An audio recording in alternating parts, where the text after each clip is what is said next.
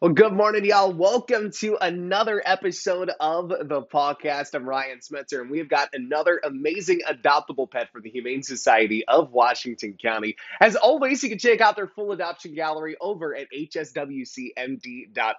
And a special thanks to Central Dogma, a healthy place for pets naturally in Hagerstown and Frederick, our sponsor each and every week for the Pawcast. Now, today, we have got an adorable and amazing dog by the name of Jack. Good morning, guys, and good morning to Jack, who already looks ecstatic to be on the air this morning. Yes, good morning, Ryan. Tell us a little bit about this awesome dog that you guys have here in the room who is super playful, loving. You guys have the toys in there ready to rock and roll for him. I mean, the dude's ready for Christmas, I can already tell. He definitely is. All he needs is a home to spend it in and someone to give him treats. There you but this go, is yeah. Jack. He is a senior boy. He's six. He's a large dog, as you can see. He does love his treats. Um, really affectionate, mostly loves toys. He's a bit of a toy collector, like Al from uh, Toy Story, Big Al's Toy Barn.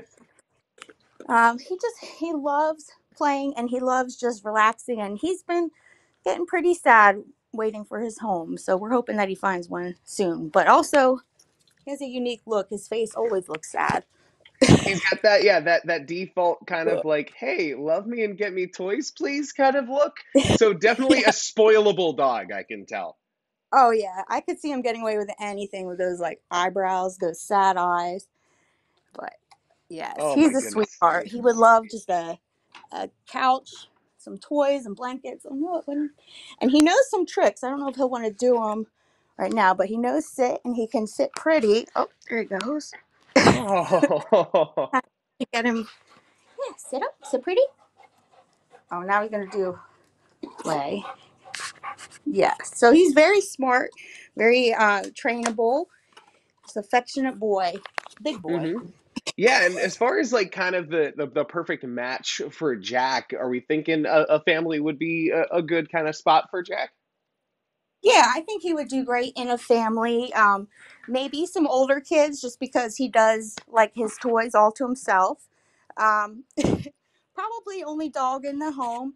He's been here a while. He wants some, you know, one-on-one attention, but um, you know, doesn't need a real active family. He is seems to be a couch potato. So anyone that just wants someone to hang out with, chill, you know, it's gonna get colder out, and I think he would love to get under the covers with someone. That's amazing. And you guys have a little bit of cool stuff going on here into the Christmas season. Um, a little bit of a donation special going on, right? Yeah, right now until the end of December, we have a donor that has generously offered to match all donations up to $25,000. So any donations made at this time will go twice as far, and they can do that by going on our website. That's awesome. Sweet. And then obviously too coming up here in just a few weeks, almost kind of the granddaddy of them all as far as events for the Humane Society. You've got your Polar Plunge coming up. Tell us a little bit about that event and uh, how people can get involved.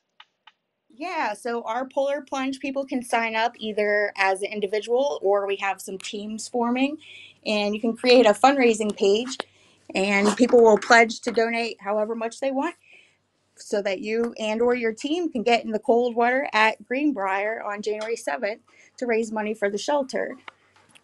That's perfect. And it's such a fun event. I see all the pictures and videos each and every year. And of course, it all goes towards making sure that awesome dogs and cats, just like Jack there, find new homes. And of course, he is just the sweetest thing in the world. Again, like you said, that face just says, adopt me, spoil me rotten, and have some fun and run around with me and play with me.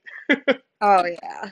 It's he's just a lover. Yeah, and we do have um, awards that we give out before the polar plunge. So we have things for people like to come in costume. We have uh, most creative uh, individual costume, team costume. We also give awards for most money raised as an individual and as a team.